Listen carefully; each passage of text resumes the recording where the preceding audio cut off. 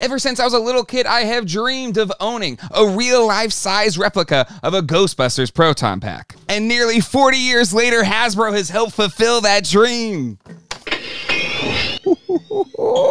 this is so awesome! As a kid, props for movies would always capture my imagination, like a lightsaber from Star Wars, or a hoverboard from Back to the Future, or a time machine from Back to the Future. Really anything from Back to the Future.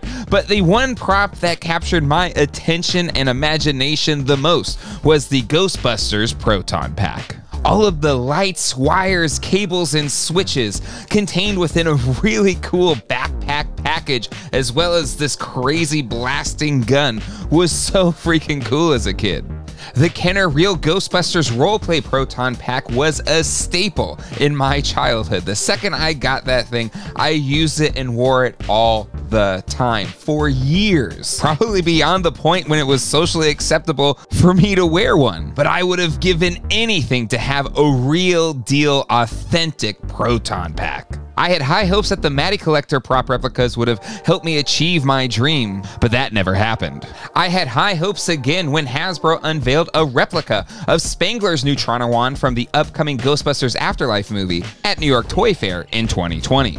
Then in October of 2021, Hasbro unveiled the thing we had all been hoping for an actual replica proton pack. And while it did not include the Neutrona one, you had to buy that separately. And it was a HasLab, which meant it had to reach a certain amount of backers before it went into production. The fact that it was a full scale, accurate replica to the proton pack seen in Ghostbusters Afterlife, and the fact that it was $400, an absolute steal compared to the thousands of dollars that a custom made pack would cost, made this set an absolute dream for those that had always wanted a movie accurate proton pack. The HasLab was an absolute success, getting nearly 20,000 backers, unlocking all of its tiers, and now a little over a year after the backing window closed, people's proton packs are being delivered on their doorsteps, including mine. Starting with the packaging, this thing is absolutely massive. And if you've had HasLabs before, you know I think just about all of them are fairly large packages. But this one is so much fun. It actually recreates a steel chest that you could absolutely see Egon storing away his proton pack in. But where this thing truly shines is in its unboxing experience. It recreates the cool floor tile puzzle that we saw in Ghostbusters Afterlife. Unlocking that floor panel opens up to showcase the Class 2 2 unlocked here, which gave us some sweet marshmallow goo, as well as different decoed Plasma Series mini puffs, which are the exact same molds as the retail release, but these have this nice roasted marshmallow effect. The mini puffs are contained within a replica of a trap, and then the marshmallow goo attachments are in this fun, phantasmical samples box. Fully lifting that top panel has the greatest showcase and experience of this unboxing, and that is the actual Proton Pack. I've waited nearly 40 years for this moment, and it feels like Hasbro knew it for all of us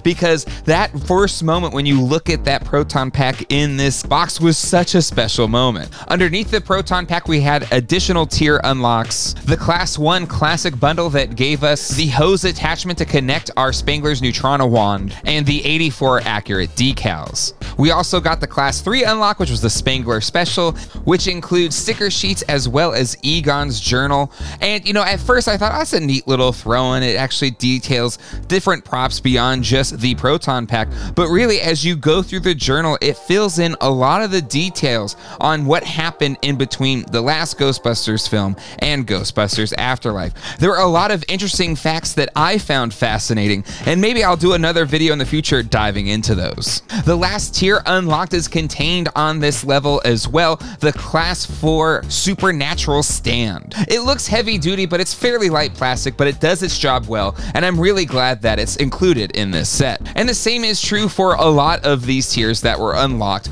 with this Proton Pack HasLab. I'm glad we unlocked all of these tiers because if we didn't, this would have really lessened the overall value of this set. Something that I should have known but completely forgot about was the fact that this thing needs batteries, and not just any batteries, D batteries. I can't remember the last time I needed those gigantic paperweights. Of course, there was none to be found in my house, so I had to run over to Target to buy a set. Once I had those 4D batteries, it was time to put this proton pack together, and it was a fairly simple process. The battery panel is on the inward facing side of the pack, accessible by two Phillips screws. The real metal ion rod attaches without any screws. The pack's power switch is located beneath that rod, just like in the movies. The secret storage container seems a lot smaller than when they initially showed us the prototypes of this pack, but I don't think it's that big of a deal. It's a neat little add-on there. The volume control is incorporated into that little crank at the top of the pack, and the switches to control the rumble effect as well as the classic and afterlife display modes are inside the cyclotron. I thought it was so cool how Phoebe Spengler and Ghostbusters Afterlife opened up the cyclotron and we got to see inside it for the first time. This HasLab pack allows you to do the exact same thing she did in the movie. You can, you know, take out little nodules, remove that big cylinder in the middle. Honestly, as a lifelong Ghostbusters diehard, this was such a fun experience, and my kids thought it was awesome as well. I thought it was really neat that they added the rumble switch as well as the classic mode or afterlife mode switch inside the cyclotron to make it feel like an authentic part of the pack. Now you could turn on just the proton pack, but really what everyone is going to want to do with this set is add your Egon's Neutrona wand to the pack. Connecting the hose to the pack and Neutrona wand was a fairly easy experience. It was a little bit of a pain to try and make sure the threads were lined up to the electronic connecting points on the pack side, but connecting the Neutrona wand was fairly simple. You just got to remove the existing battery housing and then attach the hose to the wand that kind of has a little connector that takes the place of the battery pack. And I don't know how they did it, but when you attach the Neutrona wand to the proton pack with that hose, you can actually turn on the pack from the Neutrona wand itself. It's a really neat feature. Once the pack was all put together, I really got to sit this thing on its display and take it all in. And I was just overcome with emotion to actually have a real life size proton pack replica sitting in front of me. A factory made nearly 20,000 of these things. But all of the wiring that they use, the paint effects that make it look like it's worn paint over metal, all of the real life items that prop makers, you know, threw on this thing to make it look cool were brought to life with sculpting and paint and manufactured engineering that a lot of times would make something that looked homemade in a movie look really fake in real life. But that's not true with this pack.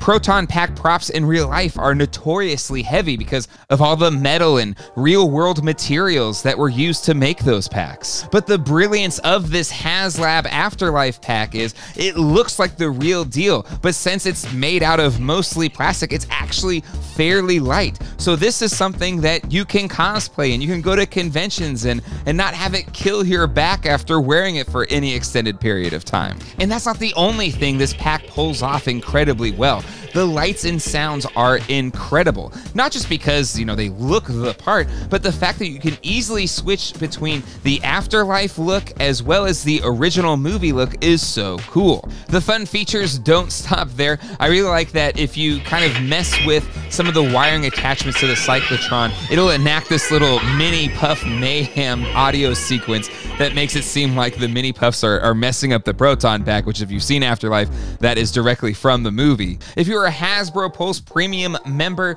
you got a neat little perk if you backed within the first couple days of the campaign. Slime effects molded very similar to the marshmallow effects that you got with the Class 3 unlock. They were shipped in a separate box. Don't feel too bad if you missed out. I don't think it's the greatest add-on in the world. I'm thankful I have them, but you're not really missing anything if you don't. The last great feature of this set is that while it is a manufactured product, they kept prop makers and customizers in mind. This pack is easily moddable. You can make it even more realistic to a real Proton pack. I'll put a link here to gbfans.com. There's a lot of really cool recommendations to change your Proton pack to fit you better. And I also love that they added brackets so that you could add your own real life Alice frame to make the pack even more accurate. I'll also include a link to a GB Fans article that gives you different Alice frame options to purchase. I have an Alice frame ready to go, but I'll save that for another another video. But say you didn't even want to mess with the whole Alice frame thing, the straps that are included with this pack look pretty good. If you want to walk around cosplaying with this thing,